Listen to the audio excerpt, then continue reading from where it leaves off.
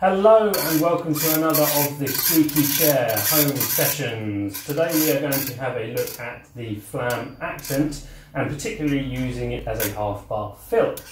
So firstly let's get into what a flam accent is. We'll start with a right-handed flam, meaning that the left hand is a grace note and the right hand is accented. The right hand comes second. So then we'll be going left, right as tapped notes on the snare. Then we'll do the opposite. So a left-handed flam, right hand is the grace note, left hand is the accent, right, left. So if I put that together,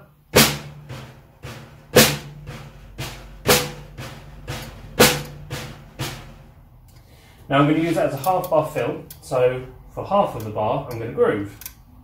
Today we're going to do a nice simple one with a little bass push in there. We're going to go... Okay? Now we're going to orchestrate that flam accent for today. So the first note, the flam, which we're actually going to be using as flat flams, is going to be done on the hi-hat, the snare, and with the bass as well, like this. So you'll play that simultaneously. Then you'll do the left, right, and then repeat, but with the left hand.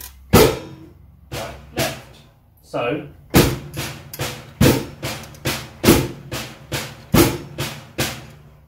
now obviously we'll only have two flam accents if we're doing it in a bar of 4-4 for half the bar. So if I put that with the groove, this is what we'll get.